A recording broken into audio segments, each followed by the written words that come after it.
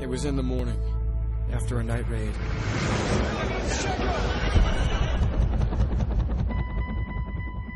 I just found it.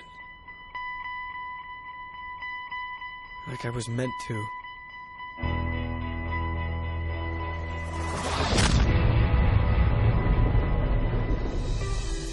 I promised myself that if I made it out, I would find that girl and thank her for saving my life.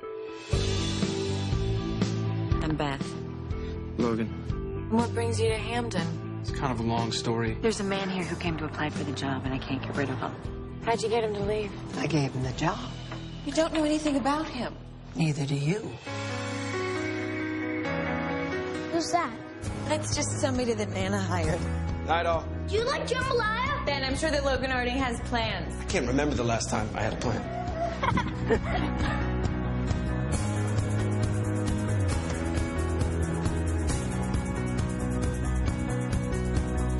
Well, that's as clean as it'll ever be.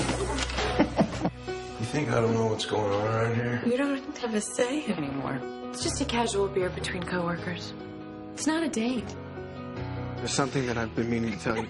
I'm sorry, I can't find the right words. Ah! Hey, that's my son in there too, you know. Let go of my arm. You should do as she says. You don't know what I'm dealing with. I do know that you deserve better than this. You stay the hell out of my life. Should be kissed every day, every hour, every minute. Where did you get that? Your boy Logan had it. I should have told you. I tried. I didn't know how. He just shows up here with something so personal. I just don't smell right to me. I think he was meant to find that photo. I think it happened for a reason.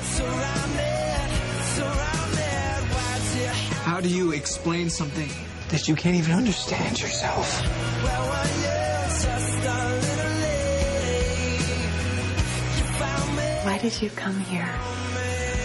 To find you.